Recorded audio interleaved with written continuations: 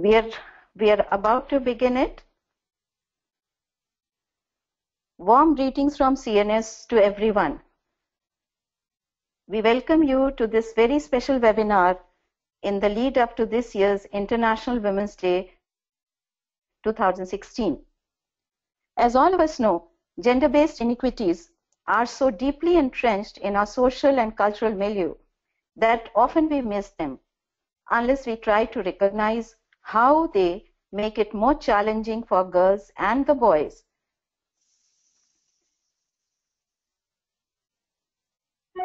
For girls sorry and the women to seek health care. Sometimes they are often missed totally.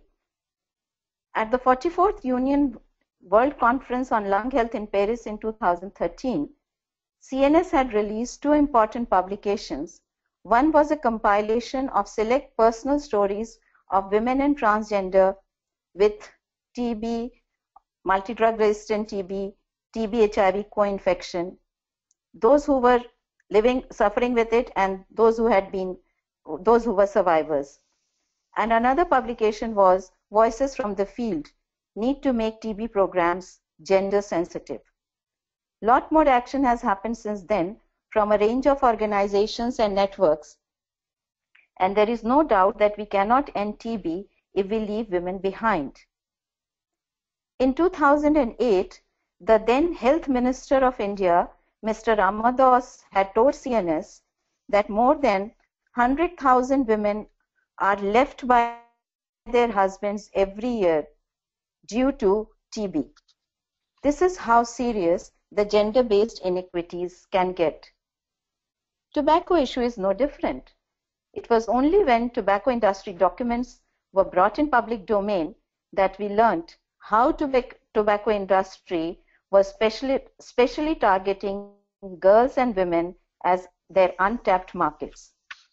Today we have senior experts from both the tuberculosis and tobacco fields who will put these issues together under the gender lens. Before we invite the panelists, let me make a few quick announcements. All participants are requested to please send us your questions as the panelists are presenting. No need to wait. Just type your questions by using the chat function or raise your virtual hand you will see on your screen during the question and answer session. I also request the panelists to please present in time so that we have good time left for question and answers. Thanks for your cooperation. Mr. Ashok Ramsarup is a senior celebrated and award-winning journalist from South African Broadcasting Corporation who has kindly consented to moderate the webinar. Over to you, Ashok. Thanks, Shobhaji. Greetings from Durban, South Africa. South Africa has learned lessons early in its fight against AIDS. The country data soon showed the alarming numbers of women, especially young girls, who were among those new people who were testing positive for HIV. HIV and TB are entwined, and TB continues to be the largest cause of death for people with HIV. Tobacco is no different. More young people, especially young girls, are getting hooked onto tobacco use. Also, governments of our countries have committed to achieve Sustainable Development Goals, or SDGs, by 2030. And one of these goals is to reduce the burden of non-communicable diseases, or NCDs, by one-third. Tobacco is the largest and common risk factor for major killers, NCDs. SDGs reinforce commitments of all governments to fully implement the WHO Framework Convention on Tobacco Control. SDGs also commit governments to end TB by 2030. We cannot end TB by 2030 unless we stop leaving women behind. Our panelists will help us understand how can we make progress fast enough to reduce and end preventable epidemics. Without any further delay, let me, let me request our first panelist, Dr. Soumya Swaminathan, Director General of Indian Council of Medical Research, ICMR, and Secretary of Department of Health Research, Government of India, who is a globally acclaimed crusader for TB and other health issues, is now over to Dr. Swaminathan. Uh, I think Dr. Soumya Swaminathan is not online as yet. So can we begin with Dr. Mira Aghi? Uh, she is a veteran in tobacco control from India and globally too. Uh, and she is with the International Union Against TB and Lung Disease, the union. She has also been involved with International Network of Women Against Tobacco. Uh, over to you, Dr. Aghi, because we have just got uh, information from Dr. Soumya Swaminathan. She's in a meeting and she will join us uh, very quickly. So now over to Dr. Aghi. Okay. Uh, what I'm going to um, when what I'm going to talk about are the policies in tobacco control and how they affect women and what do we need to do really in order to make these policies very effective. so the title of my uh, presentation is Are we gratified with the policies affecting women's tobacco use? I don't know how to go to the next, okay. Um, and my first slide is why a gender specific tobacco control policy?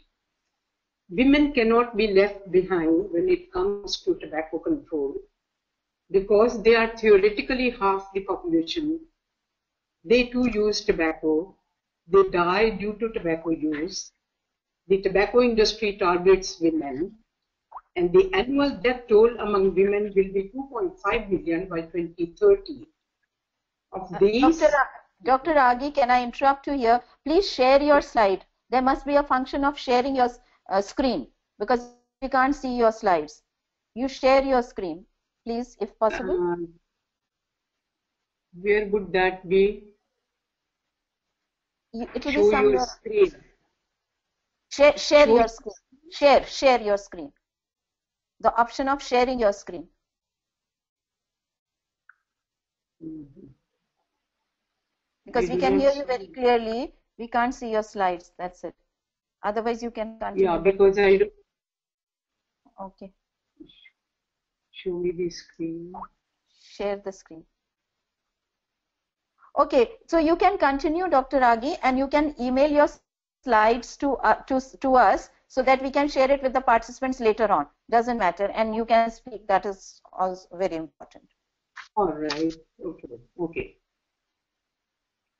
Uh, the uh, status of the policies as of present is that these policies are not very effective. The tobacco control policies are not very effective. Every now and then I get this, uh, you know, by itself, and I cannot read my slides. You know, how do I put this off? I don't know. you Something comes on the screen, and I do not want to put it off. There must be something on your screen to show that.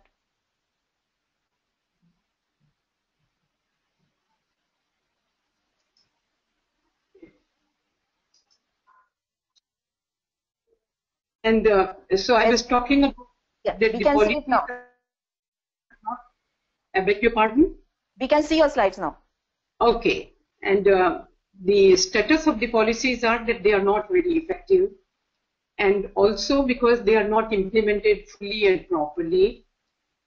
Now, the women leaders who work in tobacco control, they feel that these policies are fractured. They are not specific enough to be relevant to women and they do not pay attention to women's unique needs.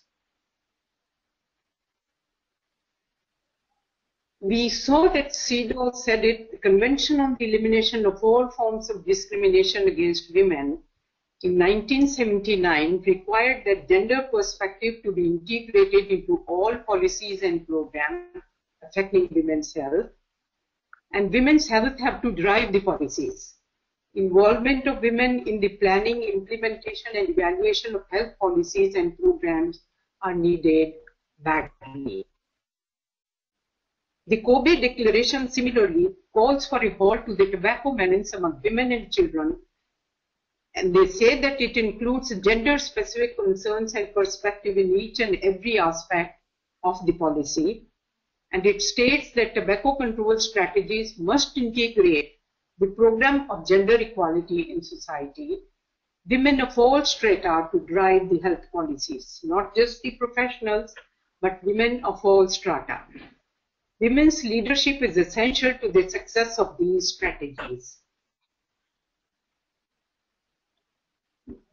And we, I think those who work in tobacco control, they are aware that tobacco use affects women very differently. It doesn't affect them just like it affects men, but it affects them differently. Because the risks among women are unique as well as they are higher. Smoking causally linked to cervical cancer, leading cause of death from cancer among women in low and middle income countries.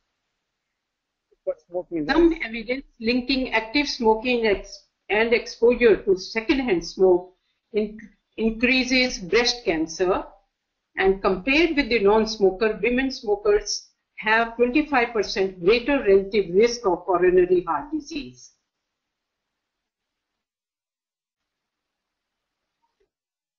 Women after pregnancy puts the baby at risk if they continue to smoke and it results in sudden infant death syndrome, reduced lung function of the child, respiratory illnesses among children, middle ear infections, impaired growth and development, behavioral problems, and women who smoke may produce less breast milk to feed their babies.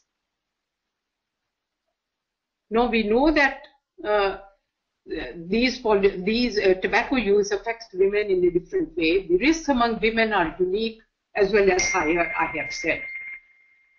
And smoking after pregnancy also, I have talked about how it puts the child at risk.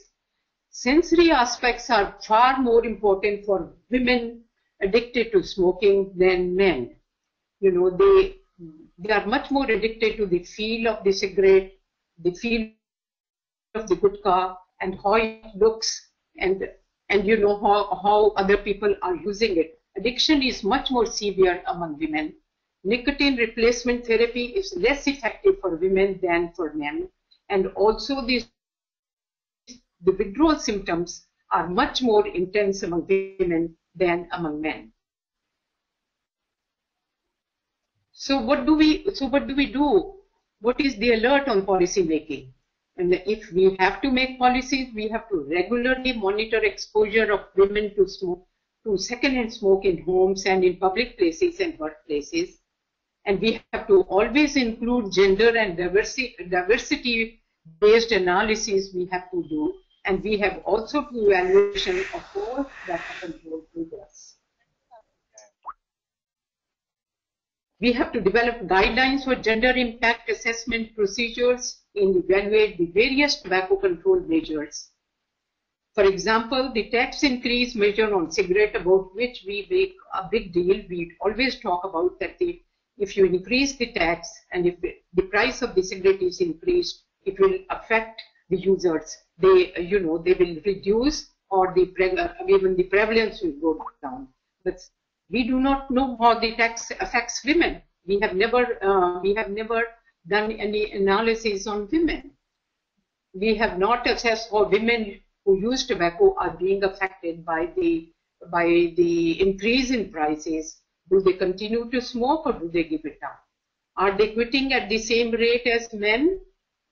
If male tobacco users, if male tobacco users not quitting, what is the impact on women? It happens that suppose her husband is smoking and the price of the cigarette goes up and uh, the but this husband still doesn't give it up and what is the impact on women's household budget, nutrition, education and health, etc.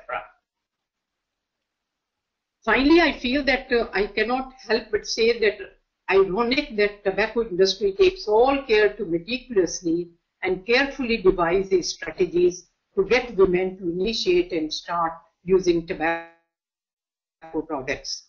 However, in stark contrast, our policies including WHO, FCTC, almost are quiet on this.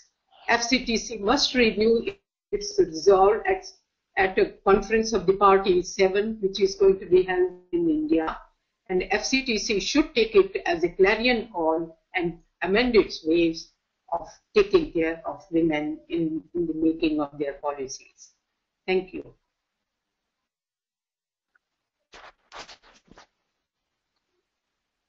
Thank you, Dr. Aghi. Uh, and I think Dr. Soumya Swaminathan is online. So we welcome Dr. Soumya Swaminathan. She needs no introduction. As uh, uh, Ashok Ramsarup had pointed out earlier, she is Director General of Indian Council of Medical Research, ICMR, and Secretary of Department of Health Research, Government of India. And she's a globally acclaimed crusader for TB and other health issues. Over to you, Dr. Swaminathan, and thank you once again for finding time to be on this webinar. You're welcome. Uh, actually, I was thinking that I can answer uh, uh, questions. I don't have a presentation. Uh, okay, but if, if you would like to say something in connection with uh, a TB in women, we would love to hear you say something because you. Yeah, so TB in men and Yes. children, I say a little bit. Yes. Yes. Your expert In terms of TB, in terms of TB and yeah, women per se, yes. Because this is- webinar is in the lead up to uh, International Women's Day. You can include children there also. I think it's quite linked. And uh, Yes, yes, yes. TB, biologically speaking, women have less of TB than men. For whatever reason, we don't know. The rates of TB in men, especially in the adult age group, are much higher than in women. Postmenopausal women are at higher risk. And children, in children, the difference between boys and girls is uh, is not there. So it's only during the reproductive age group, probably some hormonal influence is there. So that is something very unusual. But having said that, the TB is one of the leading causes of maternal mortality and death in you know young women, and particularly in countries where there's a lot of HIV infection. Uh, it's been seen that uh, a lot of the mortality, even related to pregnancy and childbirth, can actually be uh, attributed to tuberculosis, usually undiagnosed. And not only that, studies have shown that women who have HIV and TB during pregnancy have poor maternal as well as pediatric outcomes. So the children are uh, who are born are affected in terms of lower birth weight, higher infant mortality, and the women also have higher rates of uh, maternal mortality and and more of uh, hemorrhage. So tuberculosis does affect women, especially during their reproductive years. Um, another way in which TB affects women is uh, perhaps TB of the genitourinary tract, which leads to, in many cases, infertility and gynecological problems, as well as uh, menstrual problems. And this is also very difficult to diagnose and detect. There's probably quite a bit of underdiagnosis as well as overdiagnosis going on. And uh, this is again a, a specifically uh, a problem where TB specifically affects affects women. The other aspect, apart from the biomedical aspect of TB, is of course the social aspects and economic aspects where women probably suffer uh, disproportionately. If uh, the man of the house gets TB, certainly it's the, it's the caregiver, and she has to take up the burden of looking after the children as well as earning a living and providing care for the man. At the same time, if the woman of the house gets TB, then very often you see that uh, she doesn't get that kind of support from the family. There's still a fair amount of stigma around TB in our society. And uh, so there are many situations where the woman is either asked to leave the home or is discriminated, and they themselves have a lot of self perceived stigma in addition to the actual stigma that they experience, where they keep away from social functions, they keep away from get togethers, because they, they don't want to talk about the fact that they have TB. Economically, also, there's, there have been some studies to show that TB drives people into poverty. Um, the expenditure, out of pocket expenditure leading up to diagnosis and treatment is uh, very often more than the, the monthly income of these families. And uh, here again, you know, women do suffer disproportionately They are the ones who have to actually keep the home uh, going and look after the children and so on. So there are uh, many aspects of TB which perhaps are unique uh, to women, and these uh, aspects have not necessarily been uh, mean, well studied. I mean, there was one large study that was funded by TDR many years ago, where in four countries, I think it was India, Bangladesh, and two African countries, the multicentric study where, which looked at the impact of TB, especially looking at stigma, looking at um, various aspects of the of the disease on women specifically from a gender lens and that those study series of studies were published and showed that pretty much in all the countries there was uh, quite an impact on women. Surprisingly, though, one thing that has not been found to be different is the health-seeking behavior. I mean, one would think that perhaps TB diagnosis happens later in women than in men, but uh, several studies in India have shown this is not the case. In fact, women seem to seek care even earlier than men. There's no delay on the part of women in terms of uh, actually approaching the health system. And if at all there are delays in diagnosis, it's because of the health system itself. Similarly, women have been shown to be more compliant than men in taking treatment. So once they start a course of treatment, they're generally more regular, and so their outcomes are good. In terms of the impact of uh, TB on children, this, though that's not the theme for today, but certainly when the woman of the house has TB and either dies or suffers from chronic ill health, the children do suffer in terms of care and uh, in terms of support. So that is one indirect way, but then it's also possible that infection spreads more rapidly from the woman of the house to her children. And if a mother has TB and she has young children in the household, then those children are likely to get infected and some of them are likely to actually develop active TB disease. And therefore, the active household screening, contact screening, and so on becomes very important in this uh, in this situation. And we've seen that this is not only true for young women, but older women as well, grandmothers who are looking after grandchildren in the household are often the ones who uh, would have passed on the infection. So I think I'll just stop there and then we can uh, take up any discussion that comes up.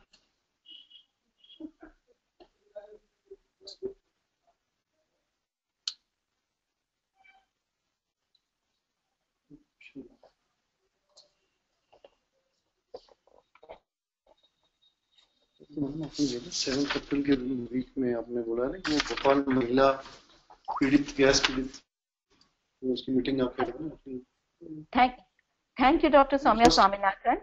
Uh, we now open it for question and answers. Uh, as I had requested earlier, participants can either use the chat function or raise the virtual hand for asking questions. We already have quite a few questions. Uh, so, um, uh, uh, I think uh, Sumita Thapar wants to ask a question. Sumita, would you like to ask it yourself? Sumita? Uh, Sumita wants to know uh, a little bit more about link between smoking and cervical cancer, if any. I think Dr. We should be able to answer that. A link we are found between smoking and cervical cancer I mean, I'm not a I'm I'm not a medical doctor to answer that question, but you know, uh, you know, the scientific reports have told us that uh, uh, women who smoke uh, have got, you know, uh, I mean, they, they, have got more probability of having the cervical cancer. Oh, uh, another question for you, Dr. Aghi, from Richa Sharma. She wants mm -hmm. to mm-hmm. know how do, how do we monitor exposure to second-hand smoke of women, especially inside the homes. Can you please well, elaborate the practicality of any solution? Some some scientific studies have been done. Uh, uh, you know, where what they have done is they have taken uh, the hair sample from the women uh, from the from the root of the hair.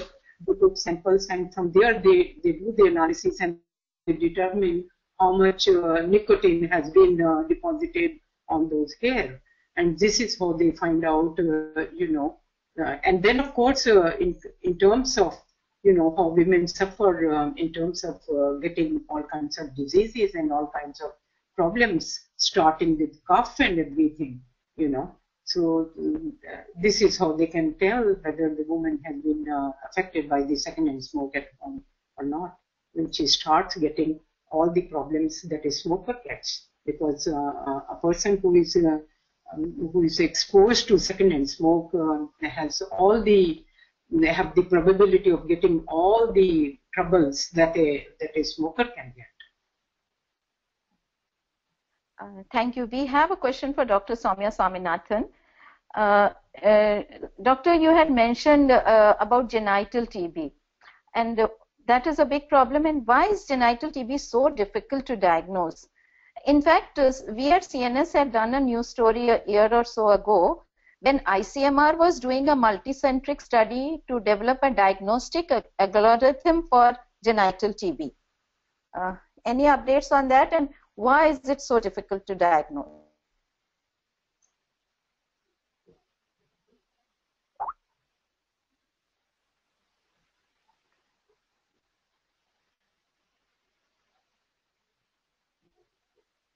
Hello, is Dr. Soumya Swaminathan there?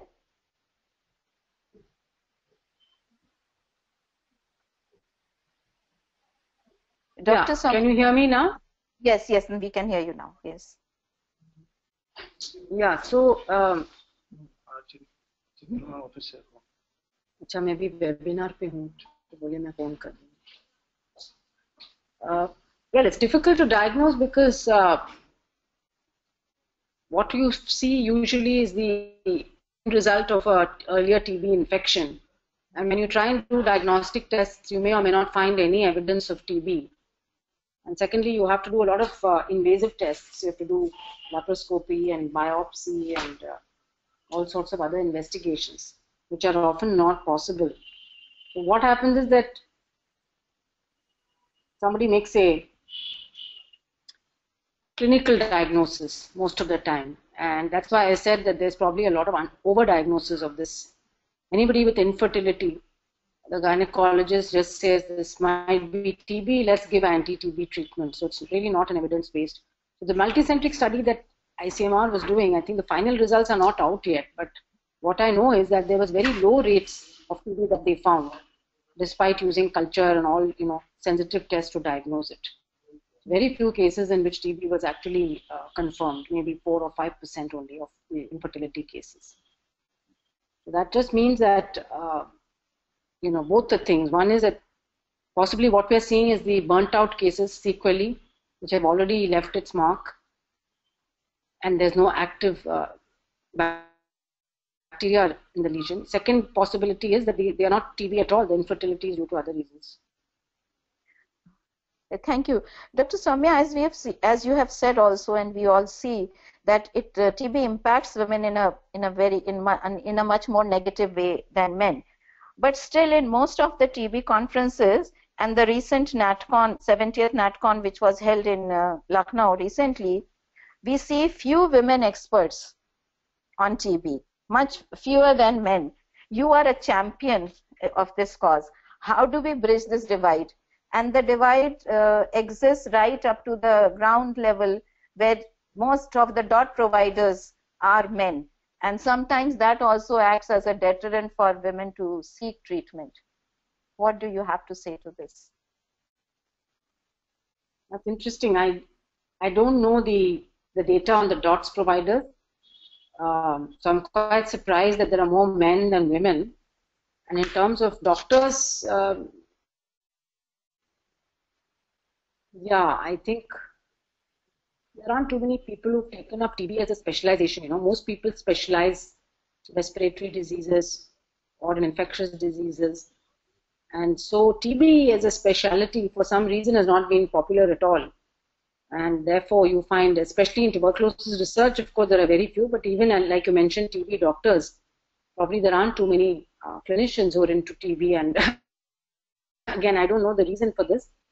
I think we again need to do more advocacy um, there are a lot of gynecologists who are interested in TB. Many of them are women. There are a lot of pathologists and microbiologists who work on TB, but fewer clinicians.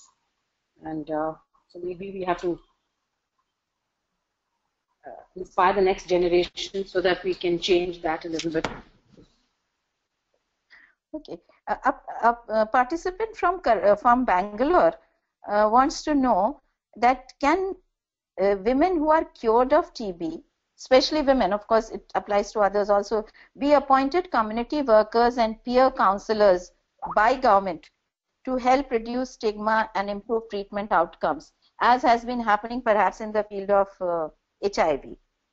Uh, will, will that help in reducing stigma? Particularly, I think, if we have women uh, cured of TB as peer counselors. Yes, I think that's a very good idea. I think there are places where this is happening, where uh, treated TB patients are, uh, you know, volunteer their services as DOT providers, and it should be encouraged even more. I totally agree. Perhaps we should again do more advocacy around this, like HIV community is well organized. The problem with TB is you don't have a community. Once people are treated, they're cured, they, that's it, they're back to their lives. They don't continue to identify themselves as TB patients or continue to do work the way the HIV community does. And that's something I think civil society needs to get engaged in. Thank you. Uh, I would again ask the participants to please send in your questions through chat function or raise the virtual hand if you want to ask something. Uh, we have Dorcas from Kenya. Uh, would you like to share your comment, Dorcas? You have some comment to make and also a question. Would you like to ask that? Yes. Hello? Yes. Yes, hello. We can hear you. Yes, Dorcas. Okay. I was asking Dr. Aghi uh, my name is Dorcas Kipchue. I work for the Ministry of Health of Kenya, and also I'm the bureau member for the Africa region and the FCTC. And I'm glad that we will have the FCTC COP7 in uh, India.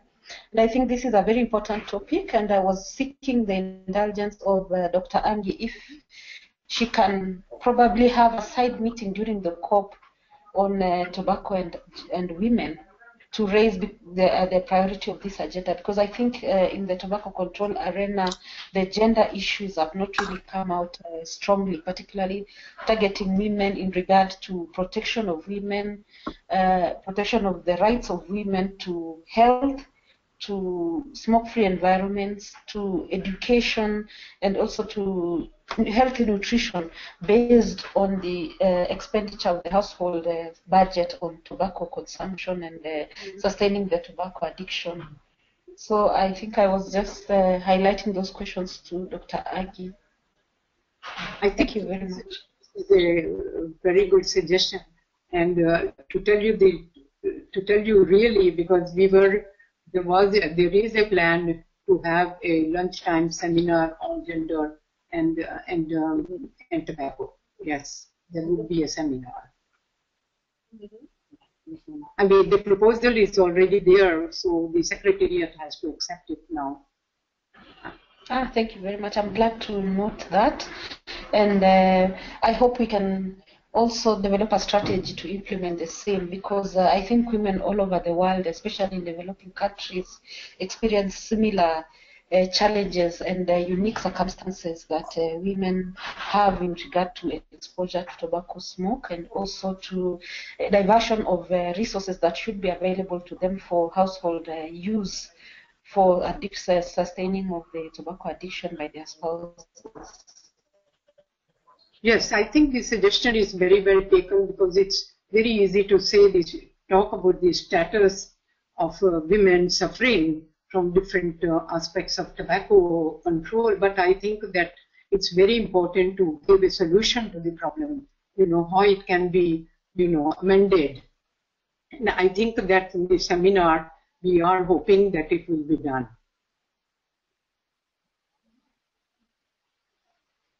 Ashok Ramsarup wanted to ask a question. Ashok Ramsarup. Yes, can you hear me now, Jay? Yes, we Hello? can Hello? Yes, we can hear you. Uh, lovely, great stuff. Yeah, smoking seems to be a very serious problem around the world. But one of the serious, one of the most important, or rather, an important question being asked is the impact of uh, indoor smoking. Now, I'm sure every household, or most households today, there are some smokers, obviously, you know, causing a whole, whole lot of uh, health problems to, especially to the young. How can we try and bring about educational patterns to our to to, to families?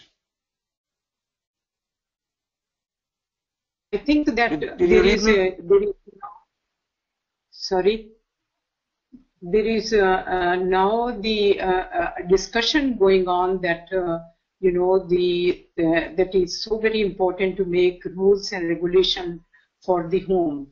You know, right now none of the tobacco legislation has any control over what is happening in the house. You know, in, indoors, what is happening the suggestions are made, but it's not uh, implemented. However, there are uh, there is a possibility that uh, you know when uh, when when the men smoke at home, uh, the women really suffer. So it can come under uh, women battering, child battering, and stuff like that. But also, you know, the domestic help is at home. So people are trying to approach from that point of view that nobody can smoke at home because there are there are people, uh, you know, who come to work at home and they are suffering, and so there can be uh, litigation, uh, um, you know, from this point of view. But uh, on the, but more than that, I think that it is important that th- that there be education, you know, um, you know, imparted to the to men as well as women that it's very harmful to be smoking at home because the women are uh, the women and the children are suffering due to that you know but Thank it is not you included in any legislation there are no legislations for that you know Sure. Do you feel the lawmakers can do something about this around the world? Well, I, I think that that's what I was saying, that it can be approached from the point of view of, uh, you know, subjecting women to some, some kind of, uh, you know, it could be considered a crime or what, I don't know. But uh, something like that, uh, correct. you know, subjecting women uh, to this terrible, uh, terrible source of disease. You know, it's like battering. Correct. Um, you know, Correct. It's, Sure. No, I, So I, I- I, that- totally agree with that point of view, there can be some some kind of legislation, you know, but uh, especially if the women raise their voice or the domestic help at home raise their voice, certainly there can be, uh, you know, it can it can go to the court. Uh, also, do you feel by raising taxes that will help in some way? Well, we, we I think that we all know that uh, raising taxes by itself doesn't do anything. There has, I mean, the, it does a lot. It does a lot, but I think it is more effective when other things are in place, when the other uh, parts of the provision of a legislation are in place. The um, uh, you know the price going up also helps. But uh, you know people who are very addicted they don't give it up that easily. And also especially if there are no uh, if there are no arrangements in a, in a place where there is cessation available for people there is education available for people. There are many places in the low income and middle income countries where cessation i mean even in my country cessation is, is at a very infant stage we do not we have a, a very robust legislation and we, we have very strong provisions in the law but then people if people want to give it up you know very little help is available you know Sure. Thank you, doctor. Uh, Thank you. And now uh, I think uh, Dr. Soumya Swaminathan has had to leave for another meeting. So any questions for Dr. Soumya Swaminathan can be sent by participants by email and we will try to, you can email the questions to her or to us and we will try to get the responses for them. Meanwhile, I request the participants to ask more questions of Dr. Mira Aghi. We are fortunate to have her with us today. Uh, I think uh, uh, Saroja Putran wanted to ask a question. Saroja, would you like to ask some question?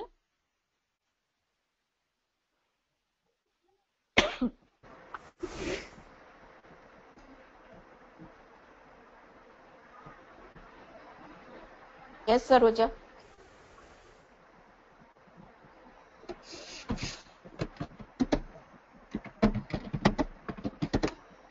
Uh, okay, as we wait for Saroja, Nenet uh, from Philippines wanted to ask a question. Nenet, are you there?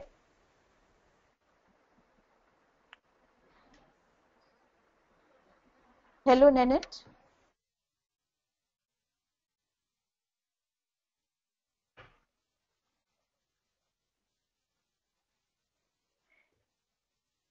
Nenet's question is, what could be the role of CSOs, especially women, for integrating anti-smoking strategies into TB HIV programs? And is there a common research agenda focused on women and young girls? And are there any health and development strategies focused on elderly women? Most of the time we are talking of young girls and women, even in case of tobacco cessation. Do the elderly women need a special uh, uh, agenda, special policy? Certainly, uh, certainly, because you know, the, usually when, when we talk to older women, they say that uh, you know there is no need for us to give up give up the use of tobacco, whether it is chewing tobacco, smoking tobacco, because we are old already and the damage has been done, and so nothing can be done. So why should we give up the use of tobacco? And it's very important to explain to them that no matter when it does benefit the uh, benefit the person when he gives up the use of tobacco. Whether it is uh, the earlier the better but if they have waited for so long even then it, it helps really to you know it it prolongs your uh, life it uh, prolongs your it, it improves your health if you give up uh, tobacco but I do not know any programs which are specifically for older women, you know. I don't think there are any, uh, you know, around the world. I've never heard of any specific uh, cessation programs for older women, you know. Uh, Dr. On, yes. On the on the whole, it is uh, it is very uh, it's it's a matter of concern that you know when it comes to women, you know, uh, uh, we are second-hand citizens because, you know, any any program which are which have to be devised, you know, usually the men are consulted, and even if the women are consulted, when the strategies are made, that they are forgotten completely. The strategies are all based on on men, so that is why they are not effective. They are not at all effective, you know. Uh, uh, Dr. Aghi, I want to ask a question. Uh, the, mm -hmm. In India, the smoking of bidis in rural women has been quite a norm for decades. And in the urban areas, there is cigarette smoking among women that has risen, but uh, sometimes uh, socially they are looked down upon. More women are smoking bidis in the rural areas. Uh, can you elaborate more on this urban-rural divide? Well, the thing is that uh, you know the women in in the in the rural areas they are more uh, you know they they take up to the smoking of the bidis just watching the peer group.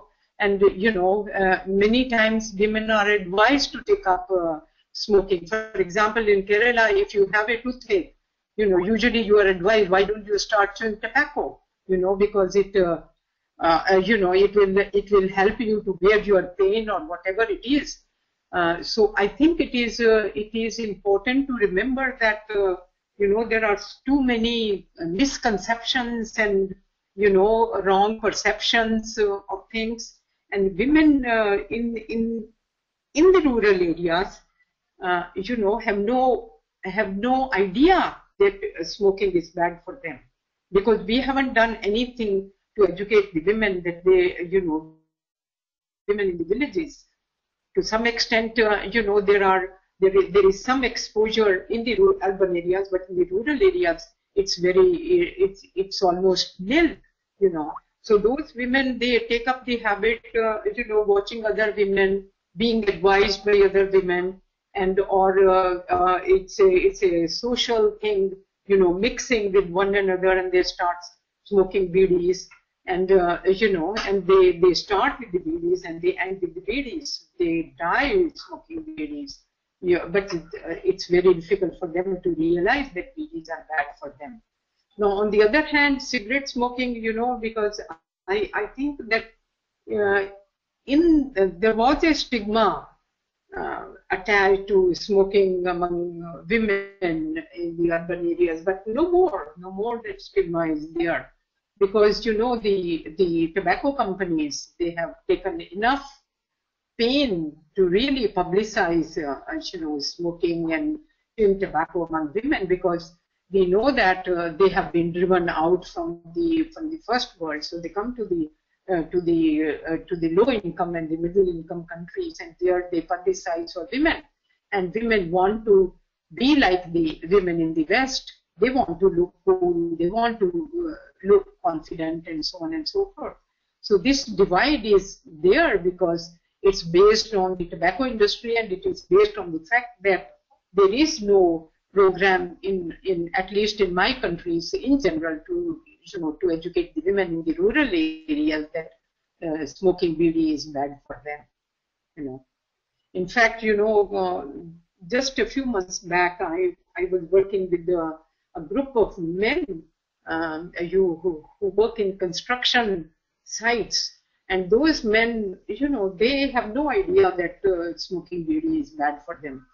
You know they said that they have they have read about warning on the bidis that it is bad for them it will kill them and all that but they don't believe in them you know. So even if you tell them because even just writing uh, on the on the back of bidi or on the back of cigarette is not going to help anybody to understand how it is bad and why it is bad you know there has to be an elaborate education program in order to educate the people you know how uh, how it really is bad for them. Okay, thank you. So, so what's the way forward? We need more awareness uh, programs at the ground level in, involving. Certainly, I, I won't say awareness program because awareness is a very very cheap looking word because that is the awareness we were talking about writing on the back of cigarette or in the back of bidi. There has to be education.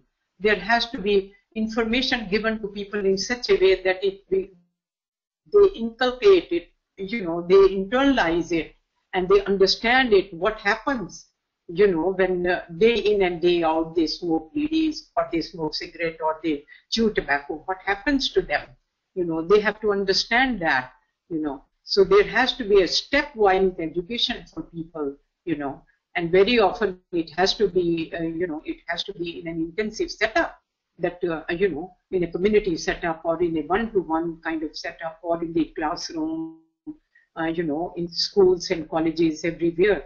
And I, I think that the education has to has to start not just with the uh, with the media or anything. Everybody has to take the responsibility the parents have to educate their children the the big brothers and sisters have to educate their younger brothers and sisters. The teachers have to advise.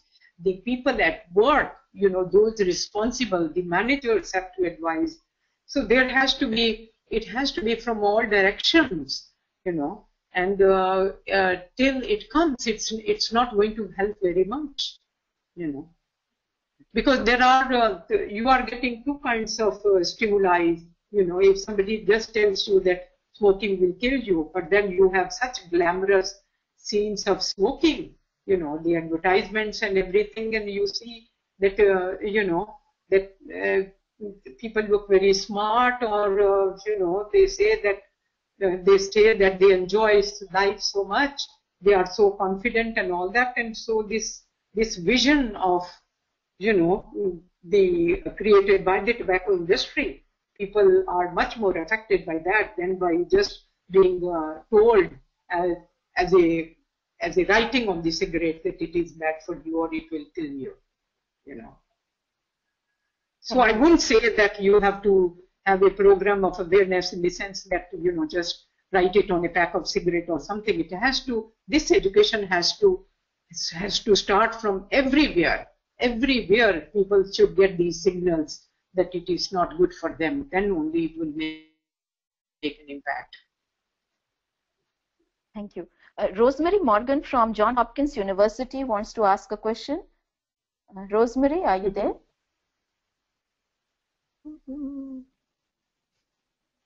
Yes, Is that sorry, I'm here.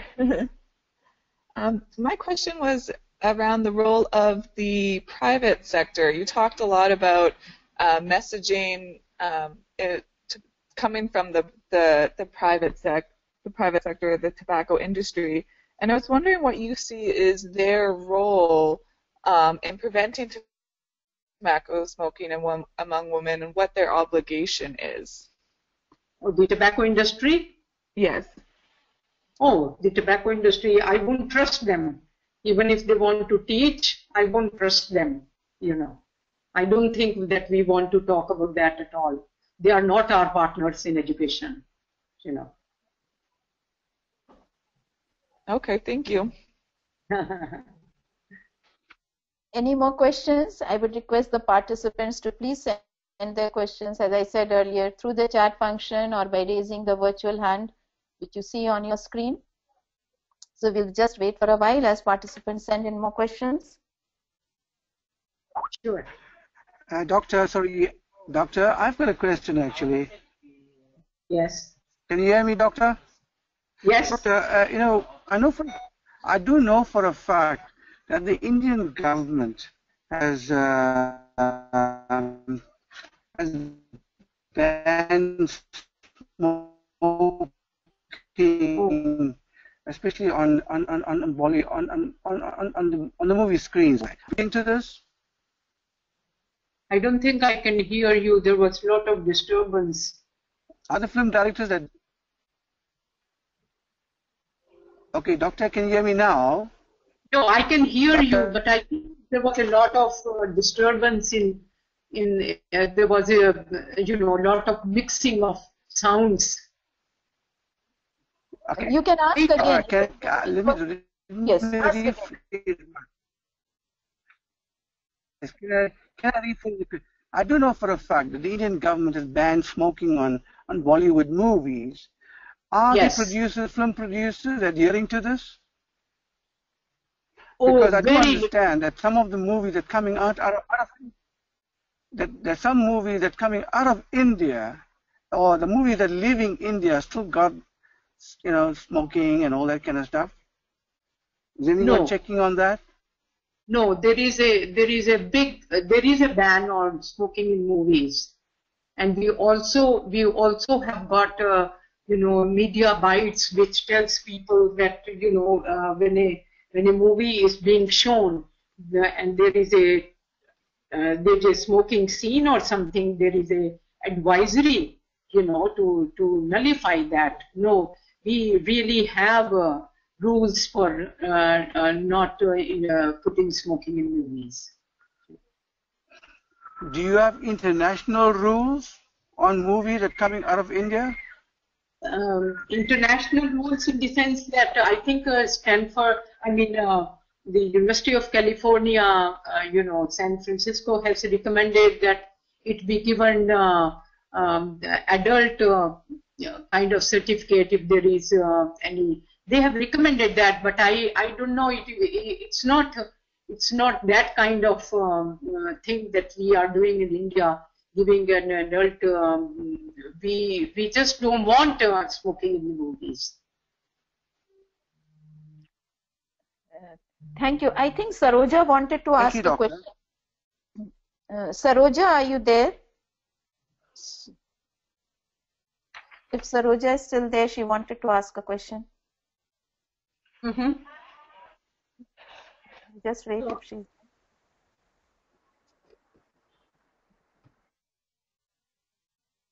Per- perhaps she's finding it difficult to connect.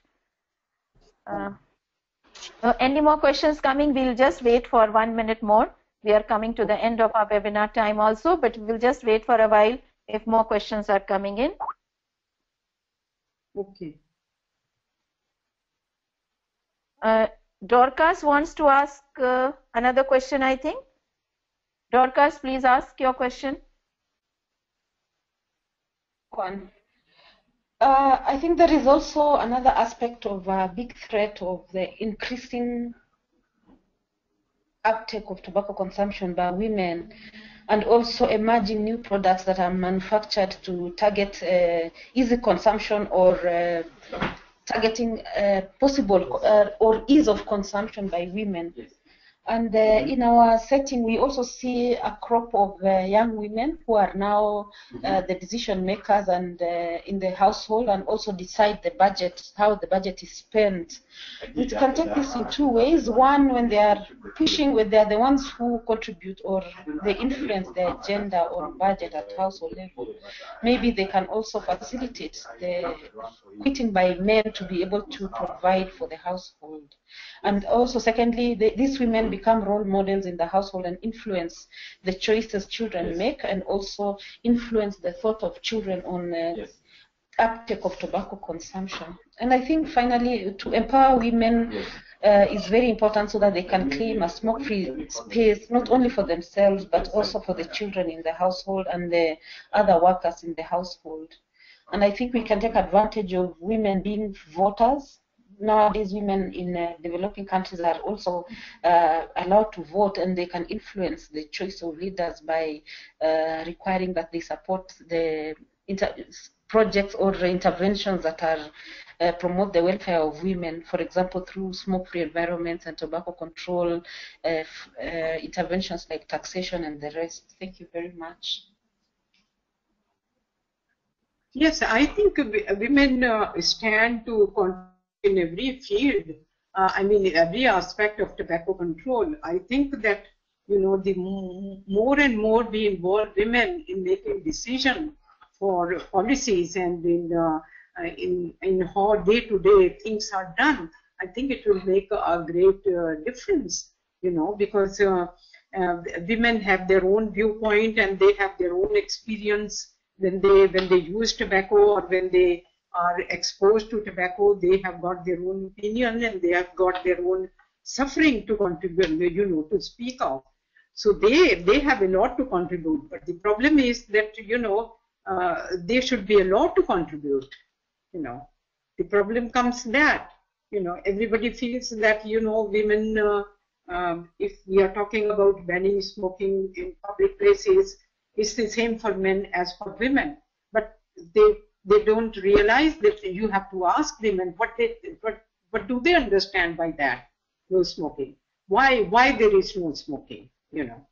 So the rationale has to be really understood behind all the policies and behind whatever you know whatever we are doing in our countries you know whether it is the ngos or the government or whoever is doing this.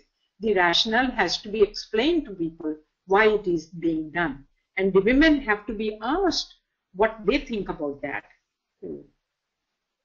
So I think if women can take the uh, role of leadership and can make uh, you know decisions about what is going to happen in the house, I'm sure it will make a difference. But it is a long way to go.